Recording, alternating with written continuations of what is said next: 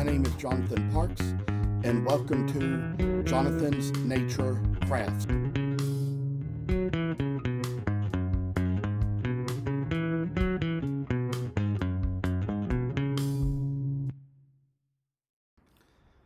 I must inform you that I do not live in this house by myself, but live here with other people.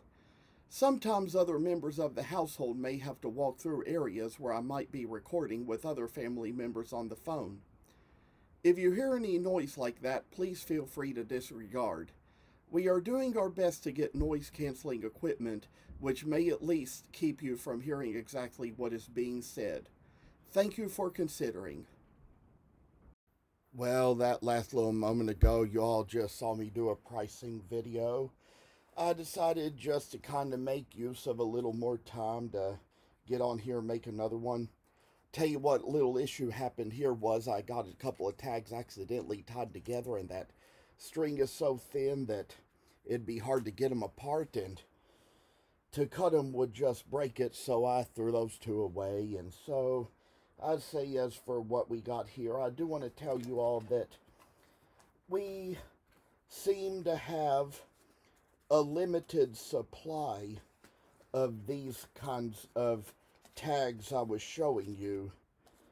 I'd say we have a limited supply of these and they're kind of expensive so we kind of have to watch how many we use but I decided I'd get on just to kind of show little other things I've worked on. And here are like two little heads I carved back in the old days. I'd say it was probably something like back in 2015, something like that.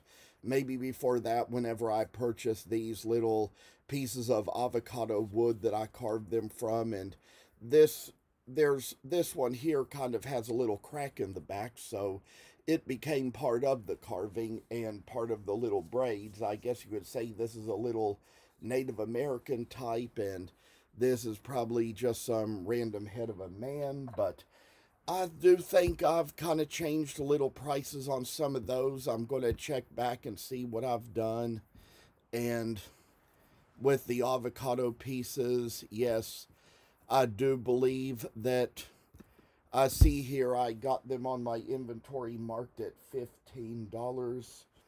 So, thought I might do a little special thing and kind of give a little intro of the wood there because I'll tell you at that time in my life I was just really interested in all the exotic woods and going online and finding them and even found out they even said at least for that site that mango and avocado and some of them were good for carving and I purchased those they're expensive so I don't really purchase them anymore but I just wanted to try the different kinds of wood at that time and I was playing a Farmville game also on Facebook which was popular at that time which had avocado trees in it. So since we kind of do little work like that, I say, might even just kind of give people an ideal here and probably do this. I'm going to write, I've already started to do it, but I'm going to write avocado on the price tag and put $15 on there just to kind of give people an idea as to what the wood is because that would probably be a little interesting wood to them maybe and I'll show you all a little bit also what I have is this little head I carved from persimmon wood I got the persimmon off of a website I used to order from with my older email addresses called MC Wood it was just from something in North Carolina. And eBay introduced me to that store. That was how I got on their email list and got to purchasing from them. So that was just the best of how that worked out. I'm going to take these little tags and put them around these avocado wood figures. And just to kind of show a little interesting thing as to what the wood is. Kind of give people a little clue or a hint here. Let them see it like this. And kind of try to get the next tag around this next one as well. Kind of get the work done in. And I'd say this is a time when, you know, it kind of does me a little good just to kind of get away from the world and be in my house and working on little things for my business. Try to show how much of a life I have, why sometimes it's just not bad being as single as you can be. Just kind of show you're kind of happy with your life. And I'd say for here, we got the other little avocado tag on this one too. And there's kind of little individual things we got here. I'll show you all that this right here is this persimmon head I was telling you about. I was just experimenting with the wood. At that time, I didn't know what a persimmon fruit was, but I did see on the site that persimmon wood is kind of like an American ebony wood. That it, the persimmon tree is kind of related to the ebony tree. Now, of course, fruits grow off of ebony trees too, but the thing about this was is, is that when when I emailed a friend to ask him about carving it, he kind of said that persimmon wood is a fruit wood and therefore hard.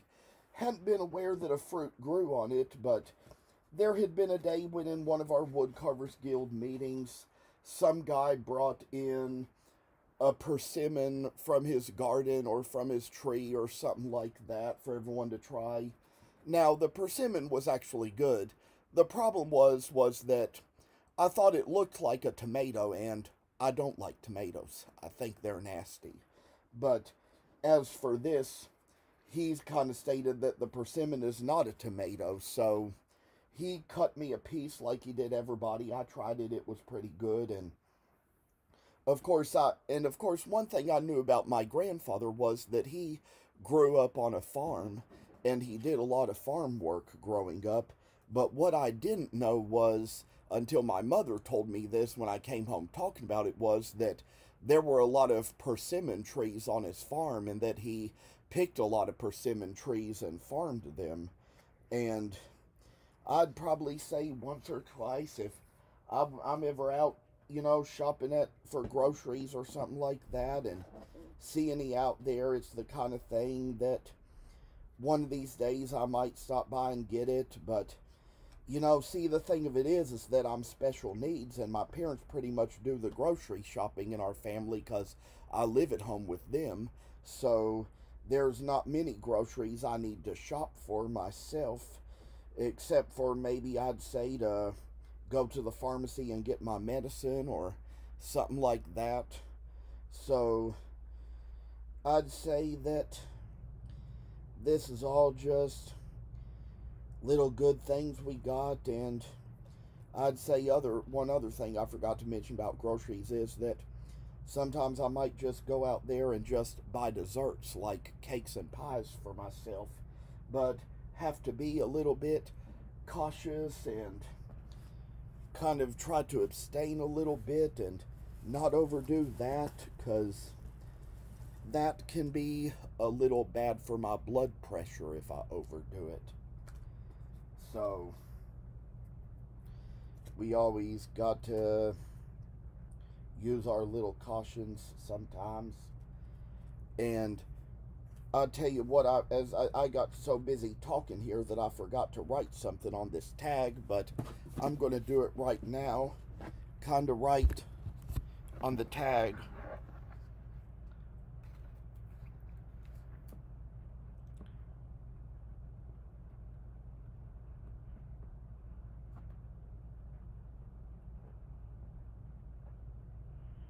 persimmon and got to check my price here to see what I put on this as a price and it I put $25 on that So it's going to go on the tag as well. Try to give people a little better hints about the wood sometimes. Show it right here. Of course, one thing I always do is I always label the bottoms of my things with the types of wood that I use. And apparently this knot on here, I didn't get it tight enough the first time, so, or get the string tight enough, so going to have to undo it a little bit and try to kind of like, um, you know, tie it a little tighter this next time around and try to get it in just the proper right shape that we need for it. I say, I say, I mean, you know, it gets to be a little trouble sometimes just to fool with something like this, but somehow we make it, somehow we manage it. I tell you, and these knots, you know, best not to try to untie them with your teeth. Read a little Dr. Seuss book when I was a kid called The Tooth Book. One thing they tell you in that book is not to use your teeth to untie knots or you might lose them. And they even showed a man in that picture who was using his teeth to try to untie a knot and had one of his front teeth fly out. Thankfully, it was a cartoon drawing of a picture, not a real picture, but they warn you in the books just to be careful about doing things like that, or you might cause little things like that to happen. I mean, I tell you, sometimes I do use my teeth to untie knots, but not on inventory like this that you're going to sell. Can't be transmitting germs to your patrons, for sure. And I'd probably say that there's kind of some other items I might have here. And I do want to tell you all a little bit about these dogs that I have here. We got to make sure we get all the dogs together now. And I'd say that there's like a little couple of little walnut basset hounds. There's a cherry basset hound, or that's what this one is. This one is actually a bloodhound from Bubinga. But the one thing I do with when I make the tags for my dogs is I label as to what dog breed they are. Now, I tell y'all that there's probably one little dog here we might kind of consider putting a regular tag on this one because this one I couldn't really give this breed any particular name. It just came out random. It was supposed to be a dachshund. And from my point of view, it was a dachshund when I looked at pictures and drew out the pattern and carved it out. But I took one of these to a show one time and the lady saw it and she said it doesn't look like a dachshund and i didn't know why but i was at another show one time and talking about dogs telling them i had one and the lady asked me where is the dachshund so i showed her this and she told me it needed a longer body so i'd say that somewhere around here i probably have another dachshund that does have a longer body or maybe even something like that and but I would say that it's probably well now I see it it's right here. This is the one that came out later whenever I got more experience kind of made the pattern and gave it a longer body that time around. That was how I got it to come out so much better and there's going to be just some more to show but this one we just write dog on the tag like I'm about to do here. And since all of these dogs, I say, are $15, so will this one be. There's probably going to come a time when dogs are going to become such a popular seller for me that prices will go up on them. But I'd say that we're not quite to that point just yet, but I do think we might be getting there because dogs are one of my most popular sellers in all that I make. And I'd say for these other ones, we can use this regular tag. Like, I'll tell y'all that we kind of got most of them together here, but I'd say these two little basset hounds. I've got a couple of other basset hounds here, another walnut one and a cherry one. So we're going to make a couple of little Jonathan's Naturecraft tags with those names on them. And come down here where you can see what I'm sort of writing on here. And it'll say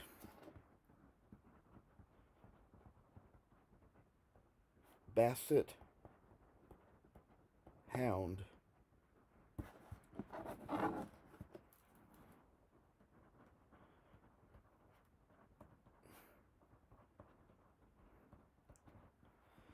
And we're going to go ahead and put these two tags with the two Basset Hounds. And while I'm at it, I'll show you all what I have here is a couple of little Great Danes. I've got one that is carved out of tamarind, similar to one I've already sold.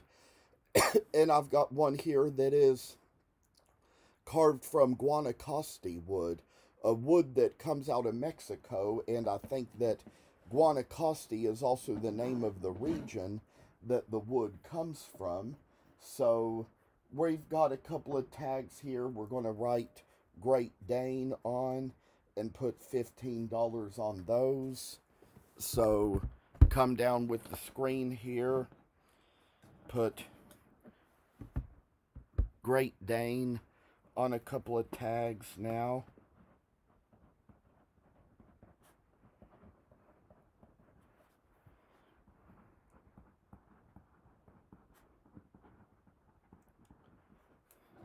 We're going to put a little $15 script on these as well. Show the type of work we have, the type of work we do, and it's going to be what we have over here. So, kind of put the tags along. And I'd say as for what we got now, we can probably end this pretty soon, but I'll show you last of all that we have a bloodhound from Bubinga and an Irish setter from Redwood. And we're going to kind of take little tags and put down the kinds of dogs on these because with breeds of dogs, that's what we do. We put the breed of dog on the tag, its name. So we're going to come down here, kind of write blood hound and it'll be $15 and for this other one we will write Irish setter and it will be $15 so coming away here that's what we've got to show now we're going to put these tags along with them. And there's one little thing I've got here. Don't think I'm prepared to sell this just yet, but I'll tell you a little story about this dog. I mean, whenever I carved Santas out of this poplar wood, it would turn black after I oiled it or soaked it in the oil, even though it was originally a green wood. And it just so happened that I thought it would happen with this little retriever too when I carved it, make it come out as a black lab retriever, but it came out green instead, so it kind of has to be a little green retriever or regular retriever, whatever we're going to call it we might even maybe get a tag on this one and get a name on it, but perhaps I'd say we'll probably use a basic tag for this since it's not one of the most significant pieces.